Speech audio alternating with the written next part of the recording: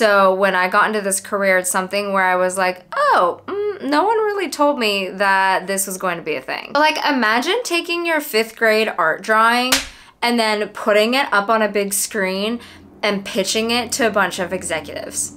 I almost succumbed to the pressure of just adding like an icon that was like this big and like flipping on its head because I was like, yes, highly encourage you to avoid at all costs. This next one, honestly, like makes me nervous. Like it's like hard for me to like talk when I was looking at being a UX designer, there was so many things about how glamorous UX design was, and no one was really out here talking about all the crappy experiences that they had, and that wasn't really giving me the full picture. If I heard more of those types of experiences that were more visible into the bad and the ugly and the tough challenges, I think I would have been less blindsided in my first year of being a UX designer.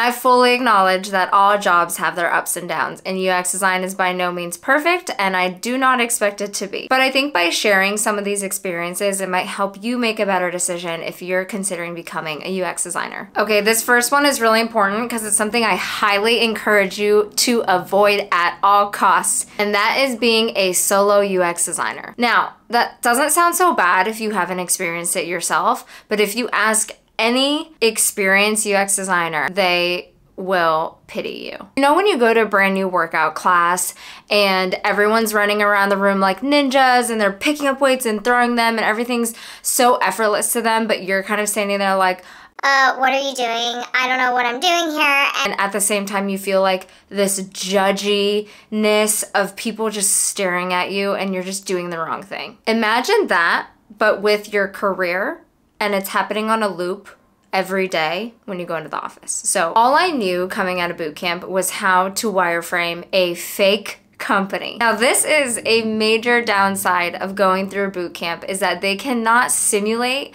a real life project with you with real stakeholders, real clients. And so this is one of those things that really didn't help me prepare for the real world. I have a whole bunch of other videos about boot camps, tips, tricks, some honest reviews, so feel free to check them out. I'll put them up here and in the descriptions below. When I first started and I was handed over my first project, I felt pretty confident because the first thing was wireframing, which is, like I mentioned in boot camp, you do a lot. I didn't know if like once it came to designing and making the right decisions, I had no idea if I was on the right track. A real life project was designing a website for a spa. So I had to create the whole booking experience. And so I was thinking, what do I put in step two or step three? Should I show the actual Instagram feed on the page or should I just link them out to the Instagram? Clients would help here and there in giving that feedback, but ultimately they were looking to me to make those decisions. But I really didn't have another UX designer to collaborate with. I didn't have a UX designer to mentor me through the process. Every day I was just taking a stab in the dark. So if you're in the interview process or once you get there, please consider looking at a more UX mature company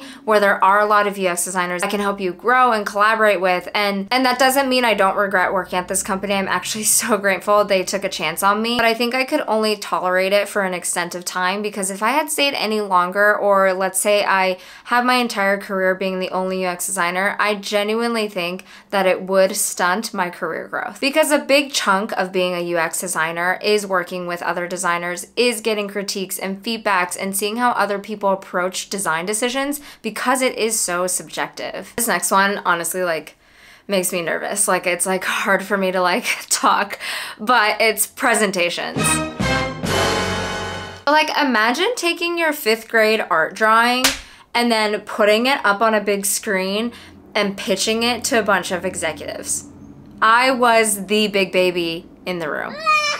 I was so fearful of it that I eventually did create some type of presentation template for myself because I just couldn't stand another meeting where I was just scrambling around. If you're interested in the template that I have, I actually have it in a YouTube video up here and spoiler alert, it's free, so go check it out. Now, the topic of presentations also rolls into another very painful part of me learning what it's like being a UX designer, and that is the rounds and rounds of revisions. I'm not a very patient person, so when I got into this career, it's something where I was like, oh, mm, no one really told me that this was going to be a thing. My very first presentation I did with clients, I remember showing them the website and they immediately were like, uh, I don't really like that. I feel like other designers, they put in like some bouncy text and the images spin around, kind of like, oh, what's that really cool really cool fashion website. What is it? Do you remember, Jim? Oh, I I think Tom, I think it's Zara.com. I love how um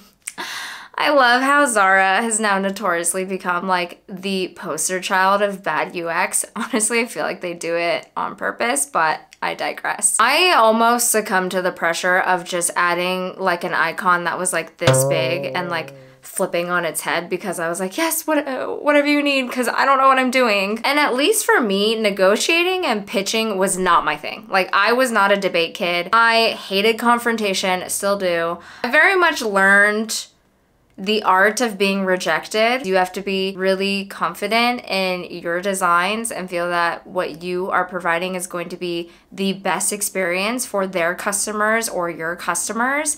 And eventually, the more times you do it, you just get used to it. So that's the upside. This last one, you might honestly be in this process right now, but the last painful moment in my first year of becoming a UX designer was moving on to the next one. After that first year, it was a lot of growing pains, but I still was like, you know what? I kind of like this. Yes, finding the first UX design job, but the second one for some reason felt that much harder. And at that point in my career, I knew I just needed to be surrounded by other UX designers. Honestly, selfishly, to validate that I was a good UX designer. And actually, no, not even for other UX designers to tell me that I was good, but just to validate that I even was one. At that point, I didn't even know if what I was doing was UX design because I was so fresh out of boot camp. Interviewing out there is no joke. I'll say my biggest tips here are that regardless of where you are in your first job as a UX designer, Every month, write down all your biggest accomplishments. Write down clear, concrete examples of the designs that you've done, who they were for, how long it took. And then the second big one is just study the crap out of the company that you're interviewing with. Like, literally understand them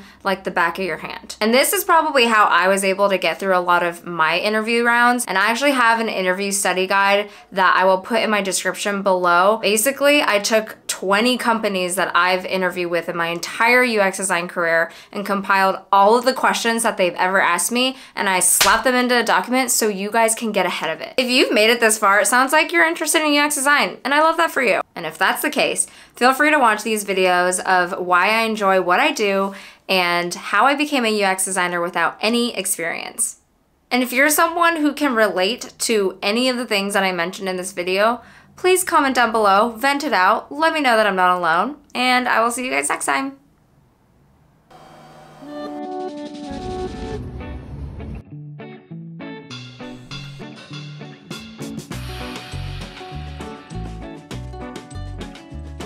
It's one thing that I don't really love about my job